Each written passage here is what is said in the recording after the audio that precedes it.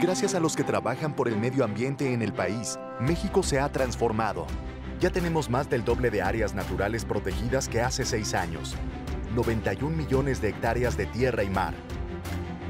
Trabajamos para salvar la vaquita marina y proteger la mariposa monarca y el águila real.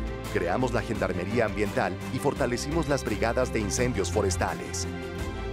Unidos haremos que lo bueno siga contando. Gobierno de la República.